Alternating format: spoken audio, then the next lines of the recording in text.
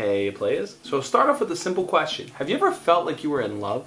Ah, the sweet feeling of love. There's nothing stronger in this world. But sometimes love turns out to not be love. In that instance, it could potentially fall more into the category of lust. So what is the difference? Is it possible for a person to be more drawn to becoming a hopeless romantic or a or what?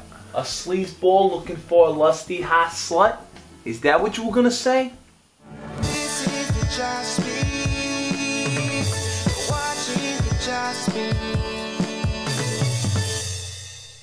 I decided to post this question to Facebook to see what everyone else had to say. Whoa, look at these. Check this out. Look at this one. This is a winner right here. The first sign of love is that you want to spend quality time together without it just being about sex. It's almost as if you just enjoy the other person's presence. You can sit around with them and just have fun. Yeah. Bro, that's the lamest shit I ever heard. Hold on, I never said you couldn't enjoy the other person's body. Don't get me wrong, I'm sure you love getting yours. The first sign of lust, you're totally focused on a girl's looks and body. Think about it. Why am I gonna worry about someone else's life? I gotta take care of my own. Mr. Vain. Yo, I love that song because you know it was written about me. The second sign of love is that time has no meaning. You can literally get lost in hours of conversations with this person. That sounds easy enough. I could spend hours talking. No, no, no, no, no. I'm not talking about spending hours talking about yourself. It's like the flow is just there. Your words gracefully mesh so well with theirs that conversation just never stops. Before you know it though, the sun is already coming up. You spent the entire night all the way into the morning talking to this person. What a wonderful moment. To be able to share a sunrise with someone, it's just so magical.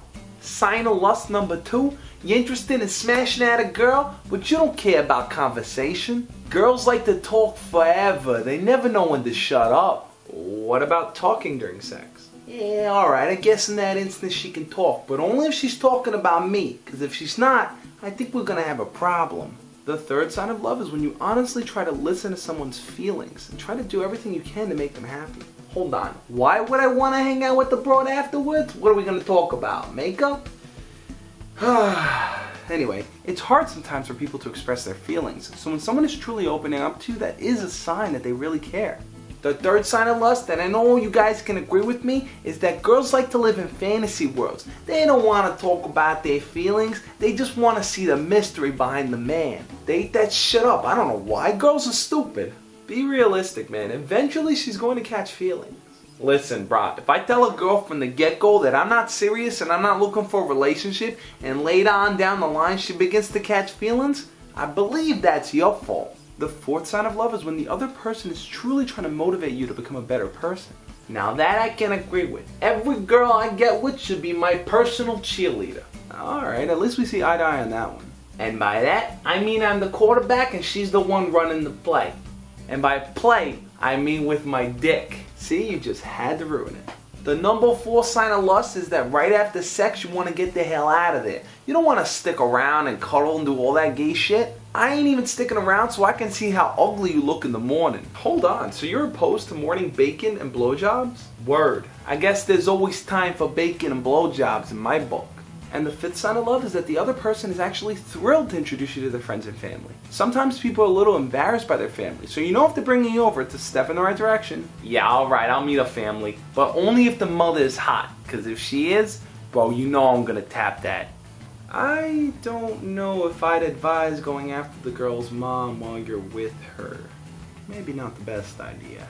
The fifth sign of lust is that the other person knows that you're just lovers, you ain't friends. Why are you trying to make it out to be more than it is? I don't care about your family, I don't want to hang out with your friends. I just want to meet up with you, get my nut off, and that's it, call it a day.